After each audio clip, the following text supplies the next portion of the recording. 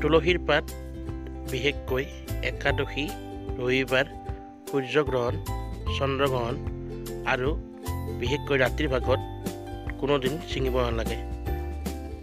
কেতিয়াও বিনা কাৰণত তুলসীৰ পাত ছিঙিব নালাগে। ৰাতিপুৱা তুলসীৰ গুৰিত সদায় পানী দিব লাগে আৰু সন্ধিয়া সময়ত এই গছি চাকি হ'লেও জ্বলাব লাগে। আৰু এইটো নিতৌ কৰিলে ঘৰ এখনত সুখ শান্তি সৌভাগ্য বৃদ্ধি হয়। এনেকুৱা ধৰণৰ ভিডিঅ' সদায় পাবলৈ চেনেলটো ছাবস্ক্ৰাইব কৰি দিব আৰু ভিডিঅ'বোৰ ভাল লাগিলে লাইক কমেণ্ট শ্বেয়াৰ কৰি যাব। ধন্যবাদ।